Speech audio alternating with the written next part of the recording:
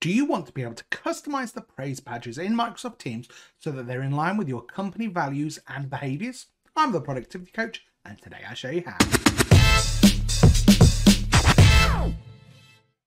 Hi, I'm Stuart Ridout, the productivity coach and I'm a modern work customer success manager at Microsoft.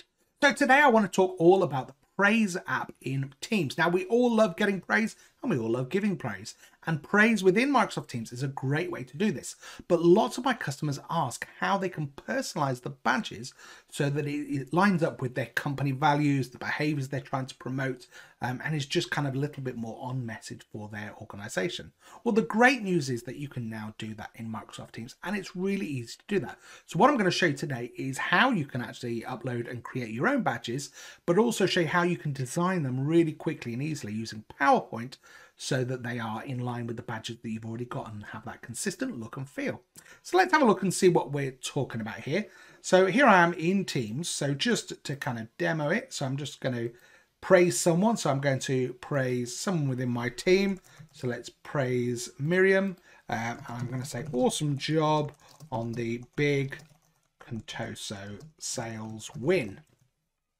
Great, and we can preview that, send that off and then that goes into the team. Everybody else can like and comment on it. They can all pile in and say, what a great job Miriam has done. But as I say, lots of customers want to be able to customize that and add their own. So really easy to do.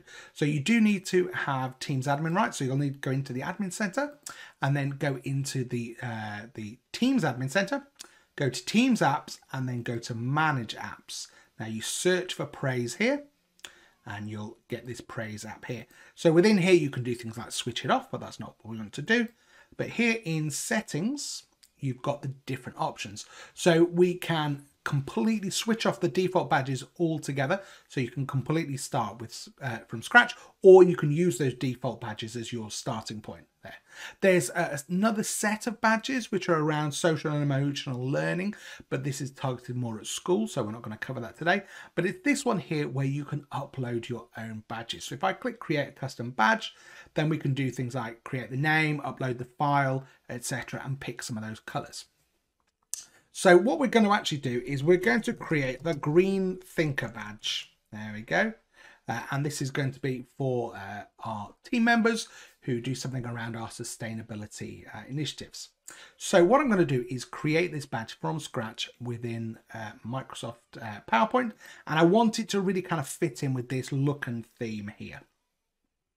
So I'm going to be using a free icon site. So this one is flaticon.com, but you could use loads and loads of different ones. The thing to be key to look out for is the attribution there, because uh, if you don't pay for the images, then normally you have to uh, give credit to the badge designer or the icon designer.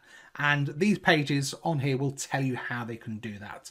Um, so probably within your organization, you might want to do something like um, set up a page within your HR portal that says what the badges and the values are, and then give credit to the artists through that.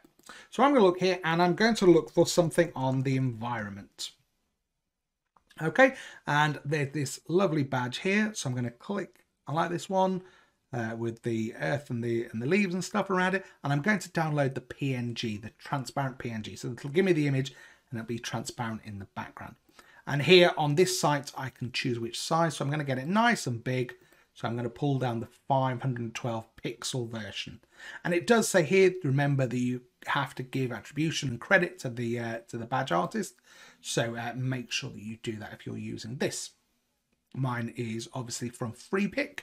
Uh, and uh, and we'll call that out on the text at the end of this video.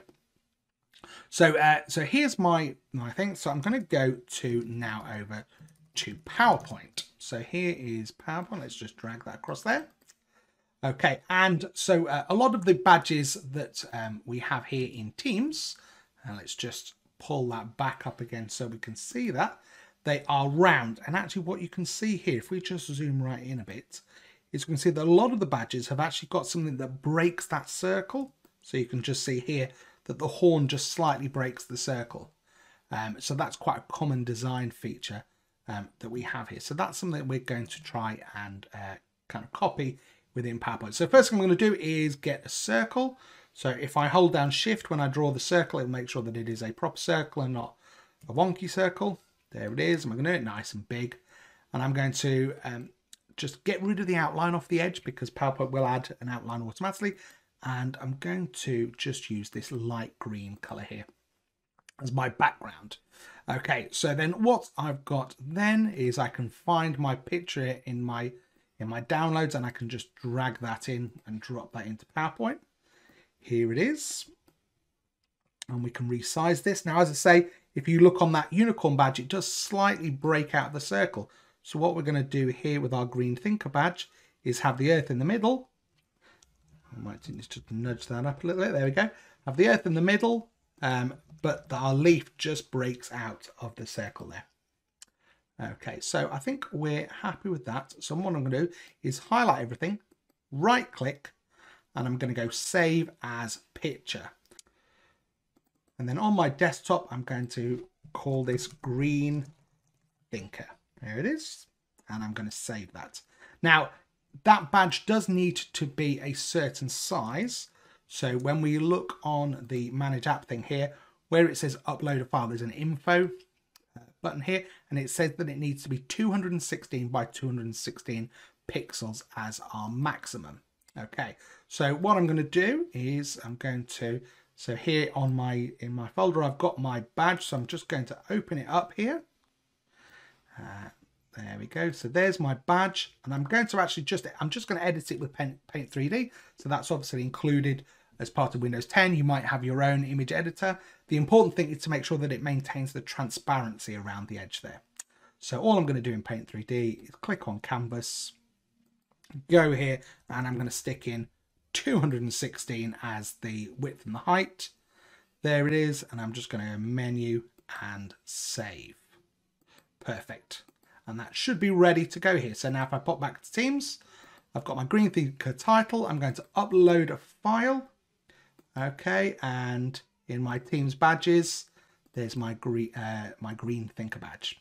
Okay, so the next thing that we want to do here is uh, have the text color and the background color. So uh, if we look here on to our, um, our team, so let's just zoom back in here, uh, you can see here that we've got this background color here, and then we've got our text color um, there as well. So uh, let's just come out of that. So the easiest thing you need to do, because this here needs um, some colors, uh, these hex color references. So the easiest thing to do here is to just pop back to our friend PowerPoint, okay? And I'm just going to stick in a rectangle here, okay? I'm just get, get rid of the outline. And I'm going to pick my background color. Now, if I just send this to back, okay, just I'll make it really big. And I can see here that that green, we've kind of lost some of the edging of the leaf there. So what I'm just going to do is tweak that, go to more fill colors and go and just pick maybe like a deeper green. There we go. And we can see now that that leaf just pops out on the edge. But on that color there, when we're on more fill colors, we can see down here, we've got something that says hex and there's this hex reference here. So that's what we're going to copy. I'm going to copy that. There we go. And I'm going to pop back to my teams and that's going to be my background color value. So I'm just going to paste that into there.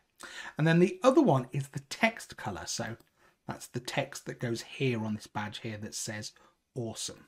And again, I'm going to pull this out of uh, out of team, uh, out of PowerPoint rather. And I've got this green circle here. So if I go onto my green circle and I'm just going to go format shape. There we go. And where we've got the color palette, go more colors. And this will give me that green. And we can see again the value for that. So I'm just going to copy that hex value for that. And I'm going to paste that in as my text color. Perfect. So um, the next thing you can do is actually look at uh, the badge um, names. So here we've got localized badge name and we've got another one that says exclude badge from these locales.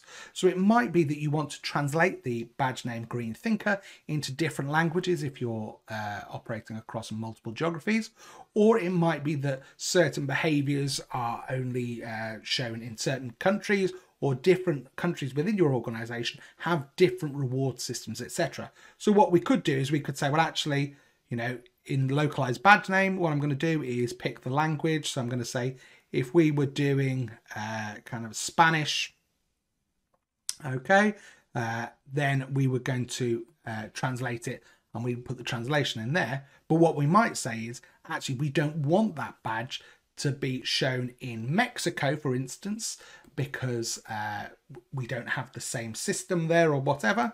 So what you can do then is go here, and again, I'm just picking Mexico because we were on the Spanish one. So I can go here and say that we're going to exclude that from that language in that region.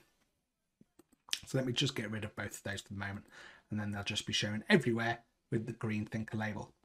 So then all I need to do is click apply, pop down here and hit the submit button. Okay, so this then will then come in. Now it does say up here that your app settings were updated. It might give you a warning that it takes a few hours. It actually, for me, it always came through pretty quickly here. So if I just, uh, I think if I click on this, there we go. You can see that we've already got that green thinker badge. Um, and just the way that it's displayed, it fits nicely in with all of those others. You can see the lion's mane just slightly out there, the cloud slightly out, etc. So just having it fall just slightly out the side of that works just perfectly. So I'm going to award my green thinker and I'm going to do it for Nestor. Here he is. And I'm going to say great work on leading the sustainability initiative uh, for our data centers. There we go. And click preview. There we go. And you can see there, if I hit send, it fits in in the same way there. Looks exactly the same. So it's all on brand, all on message, uh, and, and is a great job. So there you go. Hopefully that's something that you could find really, really useful. Uh, it's certainly something that a lot of my customers ask for more information about how they can customize those praise uh, praise badges. So hopefully you found that useful. Uh, just a reminder, I do content uh, at least once a week on my YouTube channel and LinkedIn. Just these kind of tips videos here. Try to do tips on Tuesdays and on Fridays at 12.30 GMT, I do a lunch and learn live. So uh, all you need to do to get to that is go to youtube.com forward slash productivity coach and click uh, subscribe and click the notification bell so that you get told when a live uh, lunch and learn live session is starting. So as I say, hope you find this useful. Please share it with other people within your organization. Uh, share it with your HR teams, your rewards teams, so they can customize their praise badges and really make it work for you. So thanks for watching everyone and have a great day.